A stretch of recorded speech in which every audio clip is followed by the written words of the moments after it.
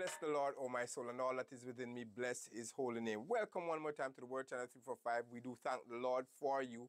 We give God thanks that last week was a powerful week. This week in it, it is promised to be a powerful message from the Lord. And so we need to pray and ensure that we cover each other and cover our ears, cover the atmosphere. Glory be to God. And today the message, my brothers and sisters, will be one that my brothers and sisters will cause us to think more and more about God, which will be drawing, drawing us closer to God. One more time, my brothers remember to like, share, subscribe, click the notification bell right over here so that when we put on new content, you will receive that notification. Also, to subscribe to the channel. One more time, we simply exist to bring the gospel to a dying world. And my brothers and sisters, guess what? We need Hallelujah. More subscribers. When you give us more subscription, it gives us more ratings. And my brothers and sisters, we're not really looking at ratings, but we are looking at impacting the world for God. And so, guess what? That is how we impact the world. So we thank God for this opportunity. So I'm asking you one more time to pray for us, to go ahead, like, share, and subscribe, and also to share the link with someone. Let someone know that there's a word on the Word Channel 345 for them. I am Reverend Lennox Hayden. Most of you know me already. Some of you are just coming on. Thank you for coming on. If you're a new new viewer, we welcome you to the Word Channel 345 family. Indeed, my brothers and sisters, this is a glorious opportunity to spread the gospel to a dying world. My brothers and sisters, as we go into the Word, we're going to pray. Let us pray. Father, we thank you one more time for your goodness, your mercy, your grace, which has been extended towards us fresh another time. Lord, we do not take it lightly because, God, we are above the earth. And so, God, we are going to use this opportunity to bring others here. We're going to use this opportunity to witness to others. We're going to use this opportunity, God Almighty, to share the gospel to someone else or with someone else. And so, Father, we thank you. We pray for the anointing upon your word right now. We pray for the anointing upon your manservant. We pray for your anointing upon this channel that, God Almighty, you alone will get the glory and the honor and the praise that is due unto your name. In Jesus' name, amen. Amen and amen. And so we're going to go right into the word today, my brothers and sisters. And so we'll be looking at a passage of scripture from the book of Judges, Judges chapter 15. Glory be to God. And so let us read uh, from the verse, I'm going to read from the verse 13 onward.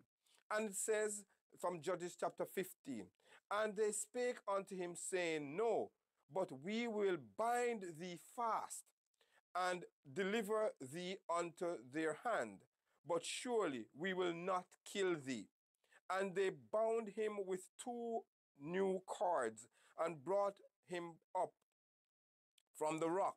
And when he came unto Lehi, the Philistines shouted against him, and the Spirit of the Lord came mightily upon him, and the cords that were up on his arms became as flax that were up on his arms and it says that were burnt with fire, and the bands loose from his hands.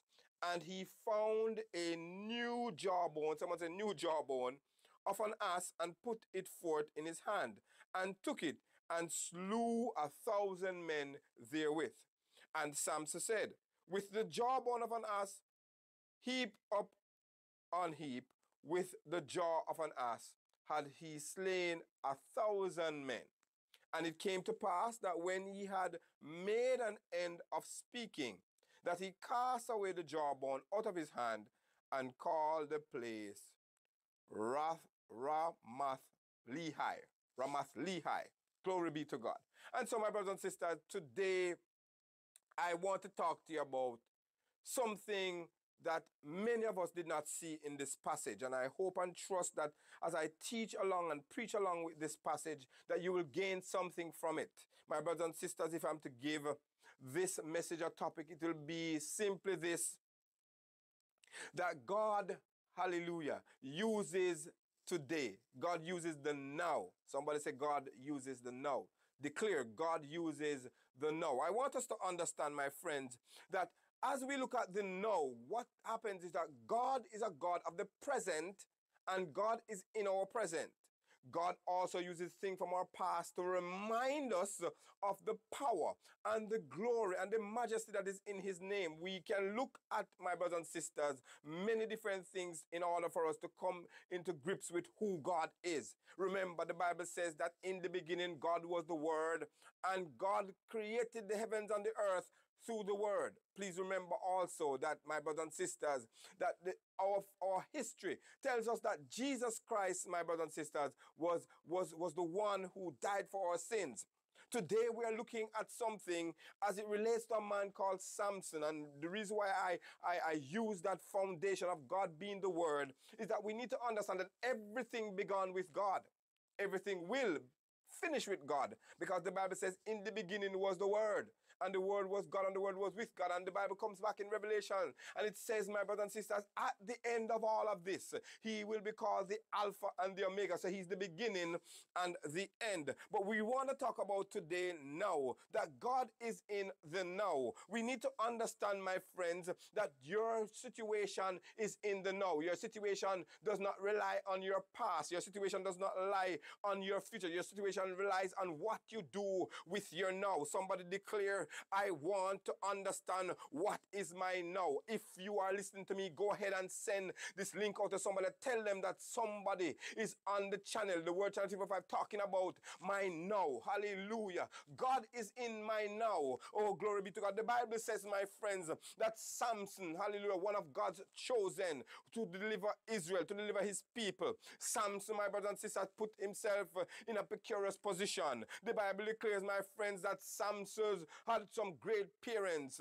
As we see in Judges chapter 13, it, it says that Samson was declared to be one who was a Nazarite, one who, my brother said, did not, hallelujah, was not allowed rather to do certain things. He was not allowed to, to eat certain things. He was not allowed to touch certain things. So God was dealing with his no. God was not dealing with his parents to say that you are from a certain generation. God was dealing with Samson no. He was dealing with Samson's no anointing. I'm talking to somebody out there because your no anointing makes the difference. You see, my friends, what happens to us uh, many times is that we are depending on what God used yesterday. Can I talk to somebody? Hallelujah. In the world, they would say, What hallelujah works, do not change it. But can I talk to somebody that God is a God of the no anointing? The Bible says, my friends, when Jesus was on the cross, oh, glory be to God, it says, Father, into thy hands I commit my spirit. He did not say, Father,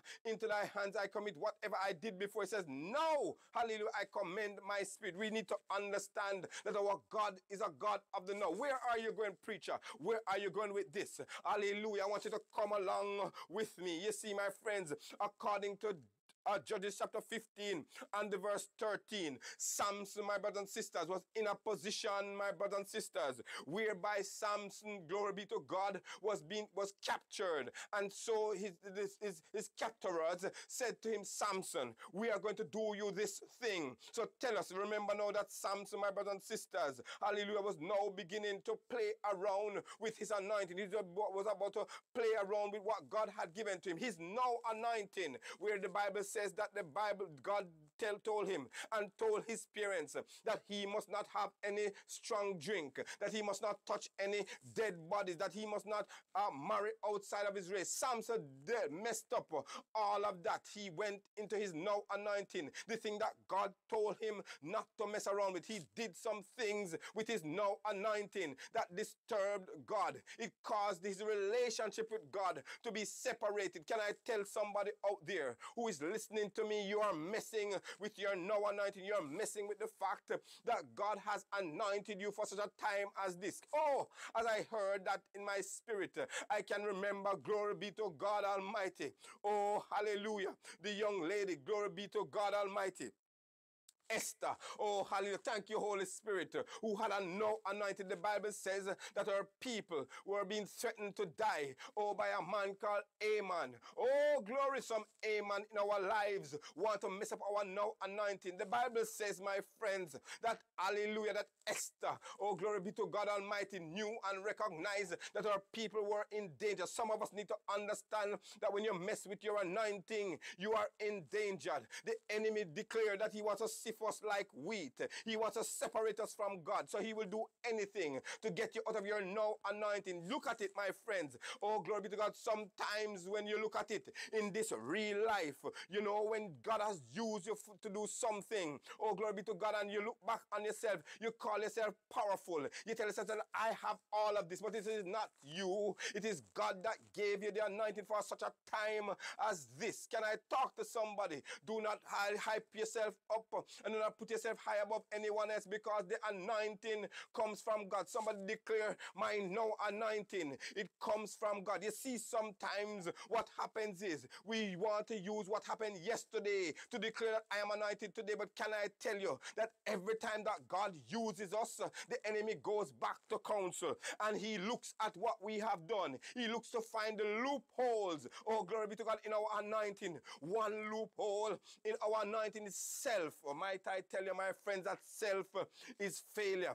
And once self comes in, your anointing is warped. Can I remind you one now, now about Esther and Haman and Mordecai? Mordecai was Esther's uncle. Mordecai was a man who sat at the gates. Oh, glory be to God, and heard the plot, hallelujah, that Haman was carrying out to take out the children of Israel, to take out God's people. And so Haman, hallelujah, Mordecai went to Esther and told her the plan.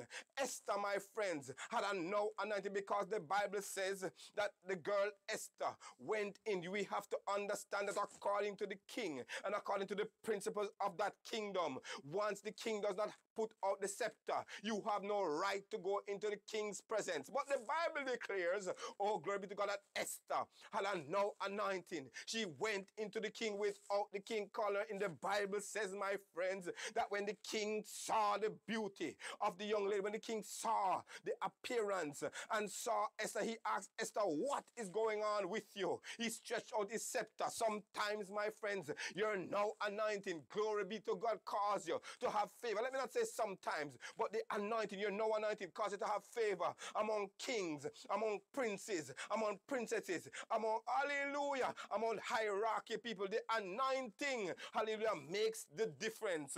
And so, my friends, because Esther had a no anointing, oh, hallelujah, God is in your no anointing. You see, if God was not with Esther, then Esther could not go into the king. Oh, hallelujah. Can I tell you about somebody else who had a no anointing? His name was David. The Bible says, my friends, that glory be to God that Saul was king of Israel.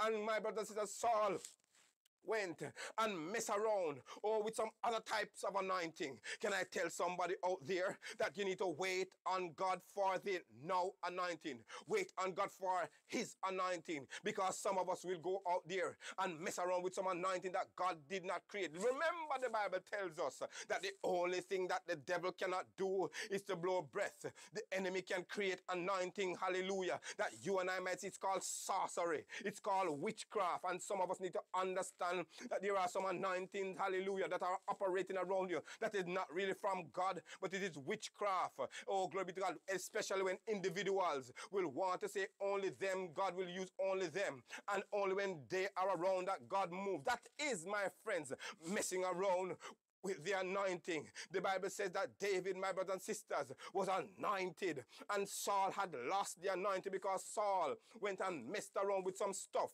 The Bible says, my friends, oh, glory be to God, that David, hallelujah, went into the presence of Saul the Bible says that Saul was troubled with a spirit. The Bible says that God allowed him to be troubled with a spirit. Sometimes, my friends, when you mess around with the anointing, God will allow some things to happen in your life that you cannot understand. Some things will happen in your presence that you cannot explain. But when you mess with the no anointing, you are endangered. The Bible says that the Bible says that the spirit began to trouble Saul. My God, but here comes David, this little shepherd shepherd boy. Oh, glory, the Bible says that the, David took the harp and David played skillfully. My God, and it soothed, hallelujah, the spirit uh, which was in Saul, that spirit, uh, oh, have oppression and depression that is over you right now. You're now anointing. God can send a no anointing to soothe you. God can send a no anointing to deliver you. God can send a no, no anointing to set you free. There's somebody that wants to declare, God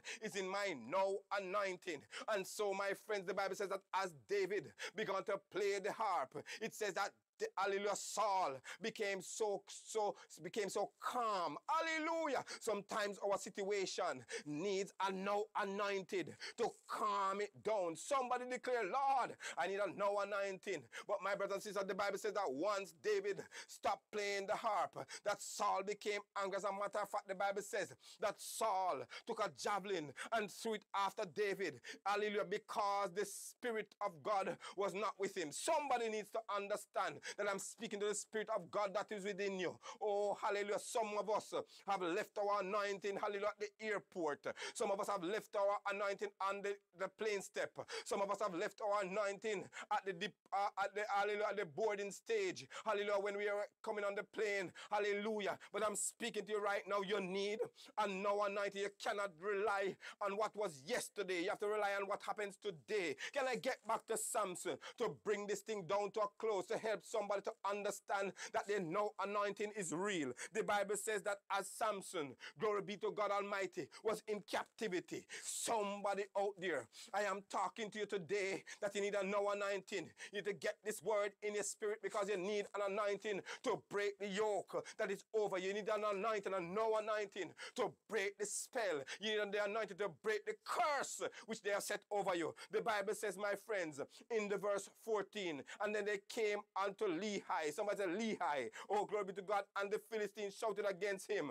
And the Spirit of the Lord, my God, came upon him mightily. Let's pause there. The Spirit of the Lord came upon him mightily. That is when a no anointing reaches you. You see, my friends, when we depend on the anointing from yesterday, that is, hallelujah, something that God did for yesterday. But today, glory be to God, the devils that we face today, hallelujah, are operating in today while we're operating in yesterday. It's like we're operating in analog while they're operating digital. And so, my friends, we need today and no one did. Somebody cry out, Lord, I need to and no anointing. I need a today anointing to deal with my situation today. Hallelujah.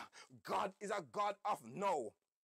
The Bible says that the Lord came upon him mightily. I'm talking to somebody right now as I speak to you that the presence of God is going to come upon you mightily once this word reaches your spirit. It has to reach your inner spirit to get your understanding, to understand who you are in God, to understand where you're operating from. You're not operating from a point of defeat, but you're operating from a point of victory the Bible says, Oh, glory be to God, the Spirit of the Lord came upon him mightily, and he and the cords which were upon his arms, hallelujah, became like flax. When the no anointing comes upon your man, hallelujah, everything that seems to bind you will only serve to remind you that they will drop powerless behind you when you praise God. A praise sometimes, hallelujah, brings up a no anointing. Somebody magnify the Lord when you can't praise God in your circumstance. Just like the three Hebrew boys, the Bible says that my brothers and sisters, as they were in the fiery furnace, they needed a no anointing to take them out. When Daniel was in the lion's den,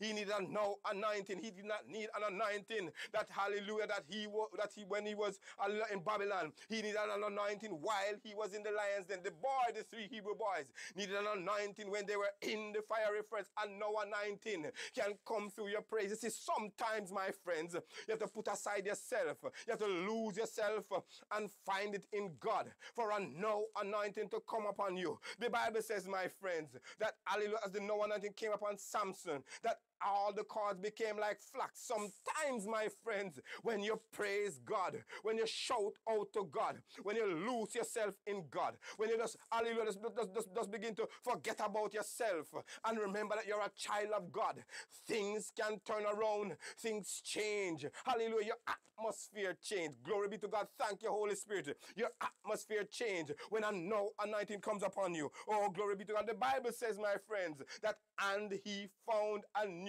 jawbone. Let us pause there. The Bible also tells us that Samson was not supposed to touch any dead thing. This man now found a jawbone of an ass. Oh, glory be to God. And he says he put forth in his hand and he took it. And when that anointing came up on him, along with the jawbone of an ass, the Bible says that he came and he slew over a thousand men therewith. Oh, hallelujah. When the anointing comes upon you, you are able to slay your enemies. You're about to destroy the the spiritual warfare that's around you. You're, oh, you're anointed now to do a no thing. Samson's anointing was to destroy his enemies now. It was not for yesterday when they tied him up. It was not for hallelujah, the, the future when they plucked out his eye. It was right now. Somebody, you need a no anointing to deal with you now. Well, just begin to praise God. Not only that, my friends, but it said that and Samson with the jawbone of an ass, he upon heaps. With the jawbone of an ass, he had slain a thousand. That's not the meat of the matter. That's not what I want to talk to you about today. But what I recognize, my friends, is that when Samson was done with what he had done, when the anointing was finished with him, some of us need to understand, even as we are in church, even as we are going about our business, that once the anointing of God leaves you, then you are, hallelujah, out of the anointing. Some people want to continue in some things. You see, the Bible says that the Spirit of God does not always strive with men. That is the reason why I can declare today that you need a no anointing for your situation. Somebody shout out, I need a no anointing. Yesterday is gone, tomorrow is on the way. And so I need a no anointing. The things that I did yesterday cannot work for today. You know what? Look, let me go back to the scriptures just to prove to you that you need a no anointing to get yourself out of what you're in. It says, and it came to pass, that's the verse 17 of Genesis chapter 15, that when he had made an end of his speaking, he cast away the jawbone out of his hand and called it Ram, Ramath Lehi. So what is happening, my friends? After the anointing left him, after he was done with the jawbone, after he was finished with using what he found on the ground, the Bible says he threw it away. You see, most of us, my friends, hallelujah, I heard a man talk about this. He said that some of us uh, want to put a pattern on it. Oh, glory be to God, we want to use it all the time. Oh, glory be to God. But what am I saying to us today is that once that is done, it is finished. God knows exactly what he is doing. You see, God does not want us to think that we have the power. Oh, glory be to God, but its power comes from Him. So when the anointing is finished, the no anointing is finished, it is finished. God is saying to us, once we have used the jawbone and we have dealt with our enemies, He says to throw it away. You see, but we want to put a pattern on it. What a pattern mean is that we want to say, no, we want to call it no. Hallelujah. The, whatever, whatever our name is. We want to put a pattern on it. So this is my anointing. And this is what I did. But God is saying to us, my friends, we are powerless without his anointing. And therefore we need and no anointing to deal with everything in our lives. So yesterday I dealt with something with the anointing that God gave me for yesterday. And today, Lord, I need an anointing for what is happening today. My God, what a word on the word channel 345. Each and every one of us needs a no anointing to deal with what is happening in our lives. Yesterday, my friends, that was the anointing for yesterday. Tomorrow is going to need another anointing. That's the reason why the Bible says that in our lives account, my friends, He deposits each and every day a fresh touch of grace and mercy. And I declare today that each and every morning he, he gives us a fresh touch of the anointing, a new anointing for each day. Hallelujah. So today we declare, Lord, I need the anointing for today. As I close, I want us to take this example from Samson. The Bible says that Samson used the jawbone. Once he was done, he threw it away. We are not going to put it, hallelujah, that today, that we used the jawbone yesterday, and today we're going to use it, and next week we're going to use it because God knows what anointing we need to break that yoke and to set us free. Therefore, cry out with me today, Lord, I need today's anointing. I need a new anointing for today. Throw away the jawbone of the assman because God already used that to kill a thousand thousand men. God already used that to slay some of our situations. But God is going to use something new tomorrow. And therefore, we have to be in the position to want to be used by God in a new way. Similar, my friends, with what he did with Mordecai and Haman. That was when God used that. Oh, glory be to God. Today, God is going to use something else through us. And that is why God is so special. That is why God is so awesome. Because God is not a God, hallelujah, that we can tame. He's not a God that we can understand. Understand. He's far beyond our understanding. The Bible says that his ways are far as the east is from the west from our ways. And therefore, that is why we can declare today that, Lord, I need a now anointing to break my yoke and to set me free. Somebody declare, Lord, I need a now anointing. Whatever you need today, God will give you that anointing to break the yoke. God will give you the anointing that makes the difference. My God, yesterday's anointing is gone, and we need a fresh anointing for today. My God, I hope somebody got this word today that you need a fresh anointing, a new anointing to declare, hallelujah, to destroy the yoke that is on your life. My God Almighty, some of us, hallelujah, think about turtle doves and ram. You don't see what God did. God changed that around, and so He used Jesus Christ. That is how God operates. Somebody declare, I need a new anointing, hallelujah, to break the yoke and to set me free. Glory be to God. What a word on the word channel 345. I pray that someone gets it today that you have used the jawbone of an ass yesterday. Oh, hallelujah. You have used, hallelujah, playing your harp yesterday. But what God is using today, you have to get into that. You have to get back to God. You have to depend. Hallelujah. Thank you, Holy Spirit. You have to depend on God for the anointing that breaks the yoke that is upon you today. Hallelujah. That's why God is so awesome because we have to depend solely upon Him to break our yoke and set us free. Hallelujah. What a word. I need a no anointing from your Lord. And therefore, God, I'm going to pray. Father, I thank you right now. Oh God, for this word. God, somebody out there, God needs a no anointing. But Lord, in order for us to get the no anointing, we have to tap into you, have to tap into the source.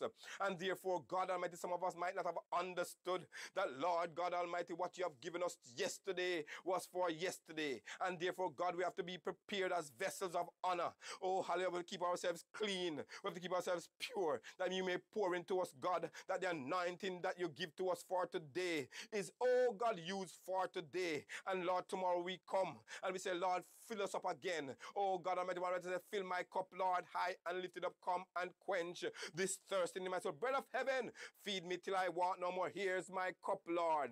Turn up to you. Fill it up and make me whole. Lord, fill us each day and make us whole each day. That, Lord, we will have a new, a fresh anointing, a no anointing. Oh, hallelujah, for every situation that we are in. Lord, we thank you this moment. And we thank you, God Almighty, for the cleansing. We thank you for the outpouring. Lord Almighty, you declare in your word and you promise in your word that upon all on the last days you shall pour out upon our flesh. Oh God, you shall pour upon us, oh God Almighty, a fresh and a, a fresh anointing, a new spirit, a right spirit within us, that God will be able to defeat the enemies of our soul in Jesus' name. So we thank you right now and we praise you in Jesus' name. Hallelujah.